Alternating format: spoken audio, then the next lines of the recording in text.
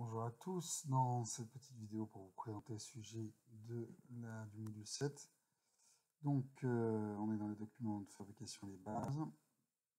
Ça fait suite euh, au module 1 et au module 2, on a fait de la programmation et euh, de la mise en position du maintien en position.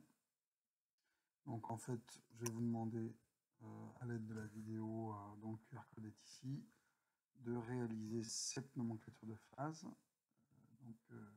épaulé par euh, la vidéo. Et puis ensuite, vous aurez à réaliser la nomenclature des phases suivantes, qui est la nomenclature de la pièce tout p 2 Voilà, bon courage